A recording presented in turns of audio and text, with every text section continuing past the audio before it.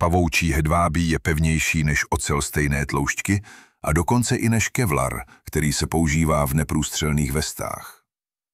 Kdyby byla pavučina stejně tlustá jako tuška, dokázala by zastavit letadlo v letu.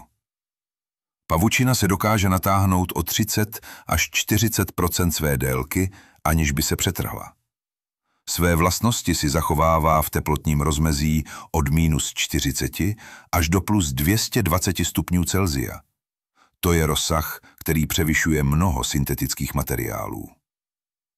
Pavouk vytváří pavučinu pomocí snovacích bradavek na zadečku z tekuté bílkoviny, která se v jeho těle mění na vlákno. Jeden pavouk dokáže vytvořit až sedm různých typů hedvábí.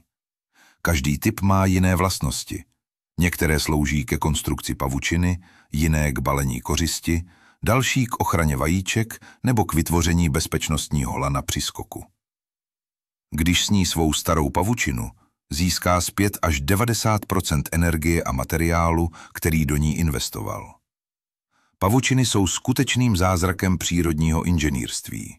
Kombinují pevnost, pružnost, lehkost a ekologickou udržitelnost způsobem, který dosud nedokázala plně napodobit žádná lidská technologie. Vědci po celém světě se stále snaží odalit všechna tajemství tohoto úžasného materiálu a najít způsoby, jak ho využít pro budoucnost lidstva.